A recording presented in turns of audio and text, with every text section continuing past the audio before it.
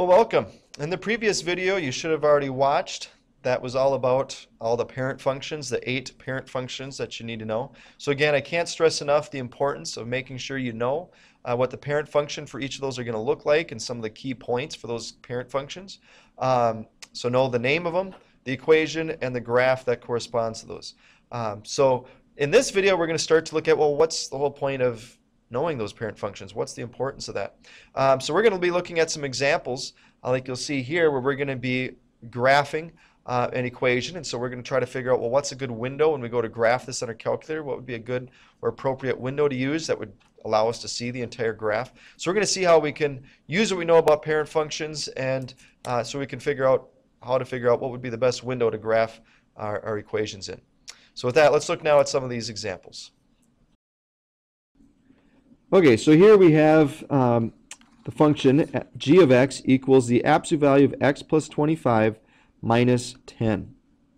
So what we're going to do is we're going to try to graph this, but let's actually just go ahead and do that. And you'll see that when we go to graph this, it's not going to be seen, at least not all of it, is going to be seen on the screen for our calculator.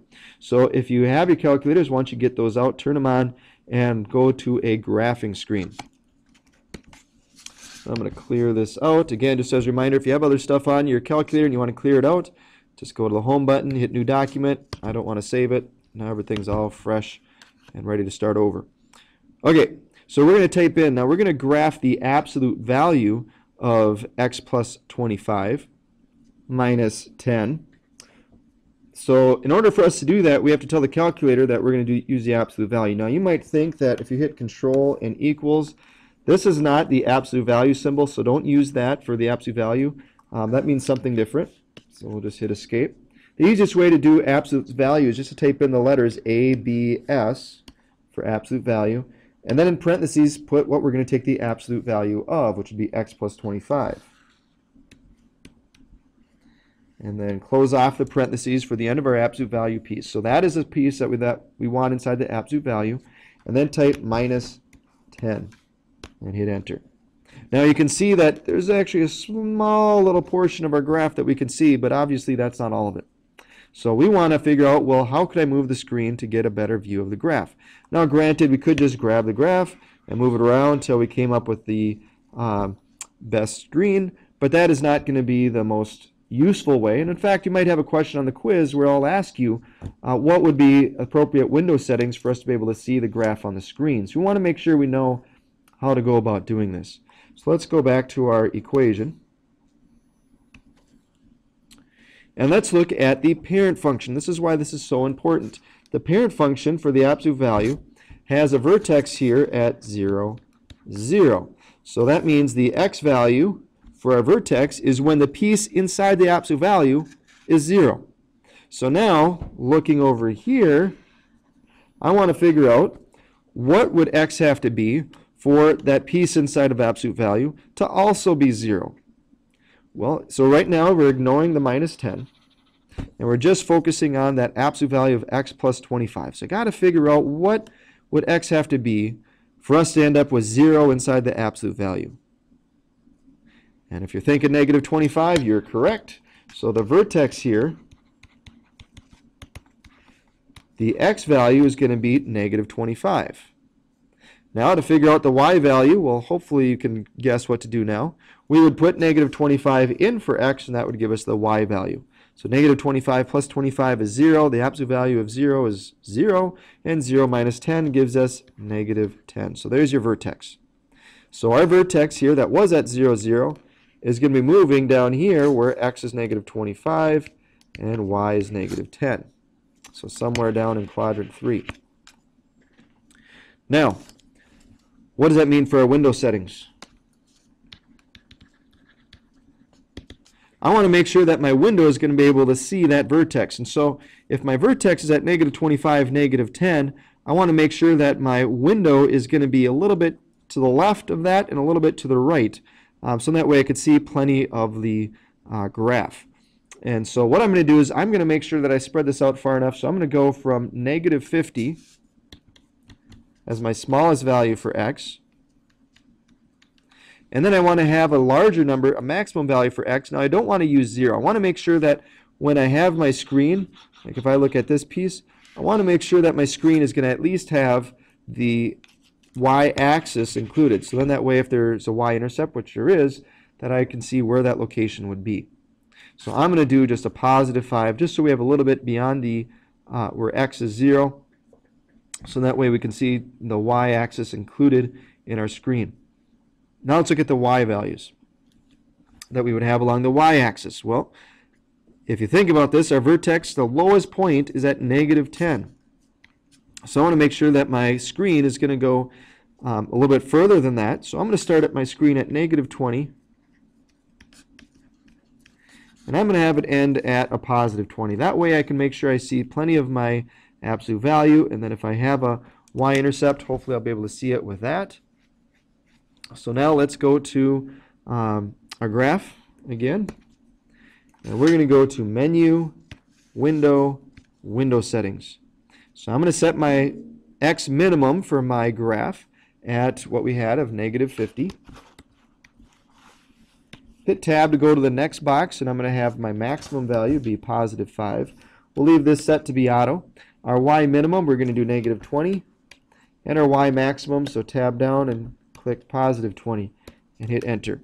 And now we can see a nice absolute value function. We can see the vertex. We can see the x-intercepts. I can see the y-intercept. So that is a really good graph that we're looking at. Let's look back at our notes and see what else we need to find. It says, what is the domain and range of the function? Now, if you watched the previous video, which you should have, I talked about the fact that the domain is always going to be all real numbers unless it's one of our special situations where we divide by x or take the square root of x. Because here I could put any number I want in for x, so my domain is going to be all real numbers. My range, however, remember our vertex is at negative 10, so that means our vertex starts at negative 10 and from there it's going up. The reason why I know it's going up without having to look at a graph is we can see that outside the absolute value is positive. It's just like a parabola in, in front of the x squared. If it's positive, it's going to open upwards. So that means from negative 10, it's going infinitely up. So we'll say the range is where y is greater than or equal to negative 10. So that is how we find the domain and range for that using our parent functions. Well, what about the graph of y equals, or g of x equals the uh, square root of x minus 8 plus 5? Well, I want to start out by figuring out well, where would my vertex be? Well, let's look at the parent function. Again, this is why you want to make sure that you memorize these so you don't always have to pull these out. Um, but if you look at the parent function, Zero, the coordinate 0, 0 is included because 0, I can take the square root. If I can put 0 in for x, I can take the square root of that and get 0 as my answer. So 0, 0 is included. And then it's this arcing line, whereas x is increasing, y is also increasing. So that's the graph that we're looking at. Oh, and then going back to this, similar to the previous problem, this vertex, 0, 0, occurs when we have 0 inside of our absolute or uh, inside of our square root. So I want to take and apply that same concept down here to say what would x have to be for us to have 0 inside of our square root? Well, if 8, if x was 8, 8 minus 8 would be 0. So that means our vertex is going to be at 8, where x is 8.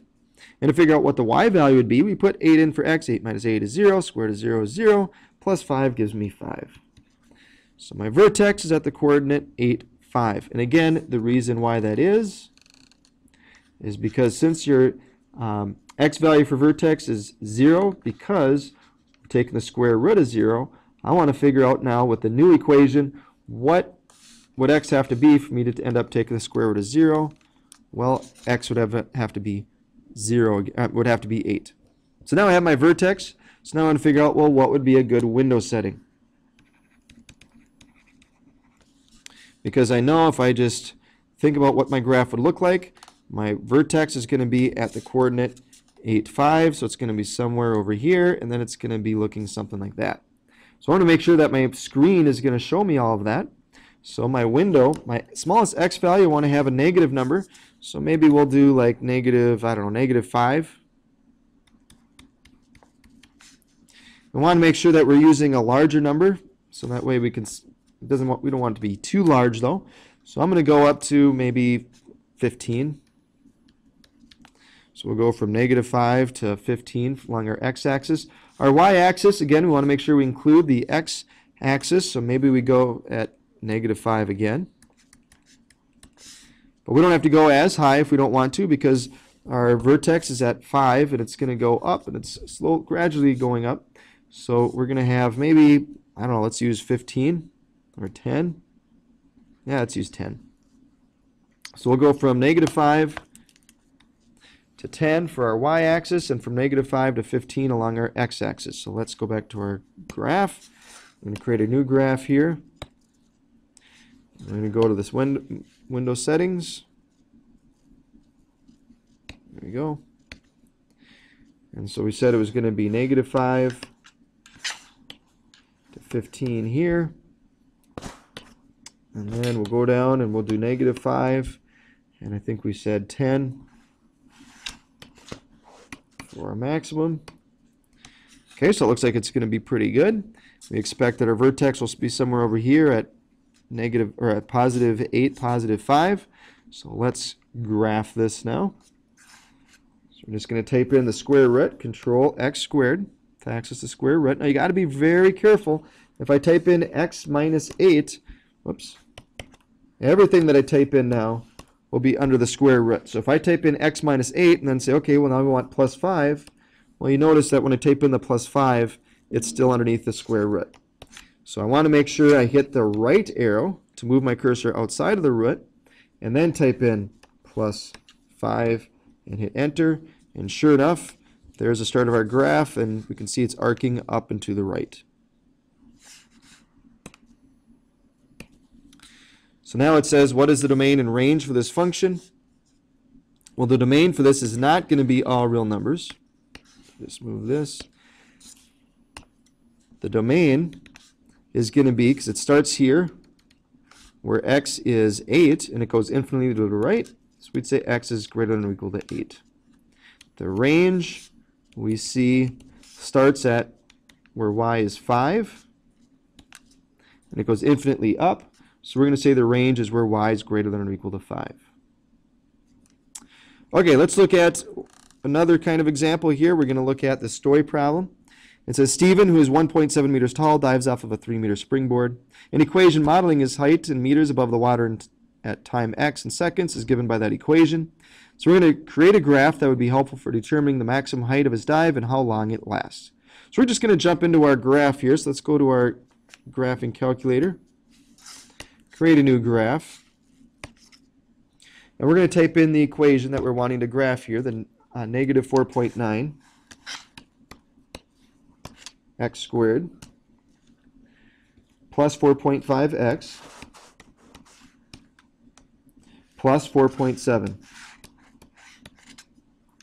and hit enter. Now this is a nice parabola because I can see everything that I want. However, we're dealing with a story problem. When we're dealing with the story problem, I'm just worried about quadrant 1. I don't care about when x is negative and y is negative, so I don't care about all this other stuff. So I want a better screen here that would focus in on just what I'm wanting to, to notice. Now, my y scale, well actually let's start with your x scale. Uh, we do want to include some negative numbers, so let's start at maybe negative 1, so that way we can see our y-axis. And then we want to go far enough out where we be able to see our graph. So I'm just going to go uh, from negative 1 to 5, maybe that's a little bit much, but we'll just do negative 1 to 5. And for our y-axis, we'll go from negative 1 up to 7 to make sure that we can see the whole thing. So let's go to Menu, Window Zoom. So again, we're going to do negative 1, tab down and hit 5, tab down and make this negative 1, and then make this 7. So now we can see our graph. So we can see the whole thing, so this is good. But now the question is asking us to find the domain and range in the context of this problem. Well, again, we don't care about anything other than quadrant 1. So quadrant 1, our domain is where x is going to start at with being 0. Because that's where this person would be jumping from. So where x is 0 to this point down here, well, I got to figure out, well, what is that point? So if you go to Menu, Trace, Graph Trace, it puts this little cursor on our screen. I don't know why it went so low, but we don't need it that low. Uh, but we're going to move our cursor to the left or to the right using our arrows there. We want to find where it exactly hits the x-axis, and that's going to be called a 0. And if you look down here in the bottom right, now the way my settings are set up, instead of giving us 1.540, it's saying 3e negative 12. Just means 3 times 10 to the negative 12th power, which would be a, a decimal followed by 11 zeros and a 3. So pretty much 0. So we're going to put uh, 1.54 is going to be the largest value in our domain. So let's go back to our notes. So the domain here, we would say starts at 0 and it ends at 1.54. Now let's look to see, well, what would your range be?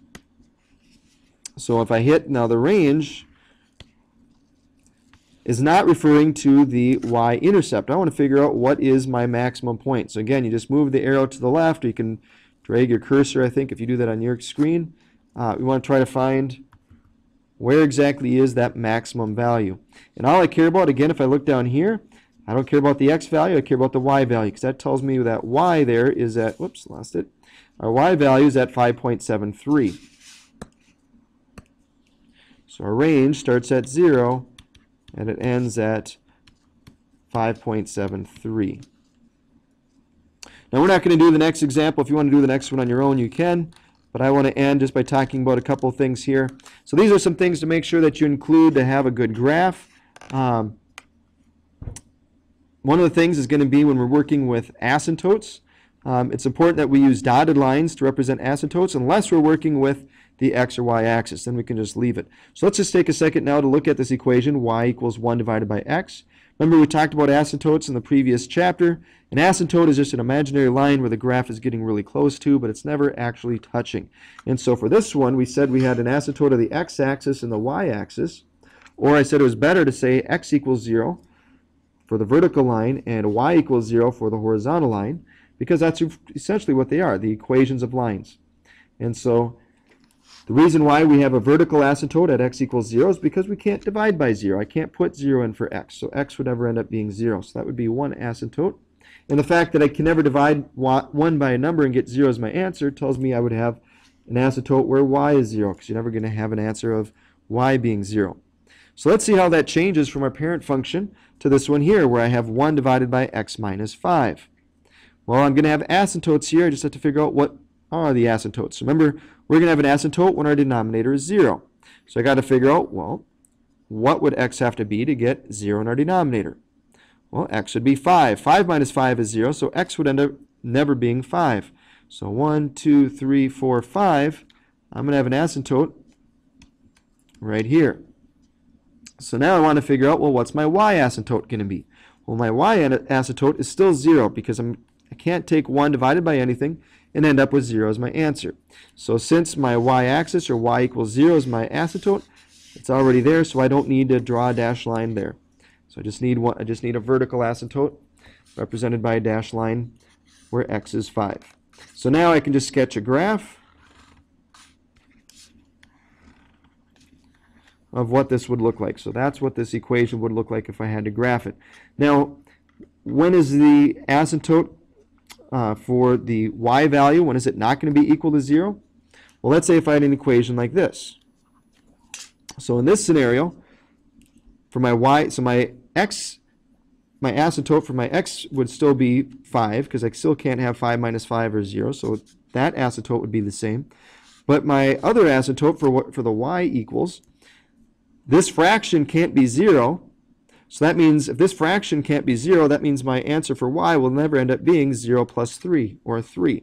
So if that were the case, I would have an equation that would look like this. So that's how we work with asymptotes.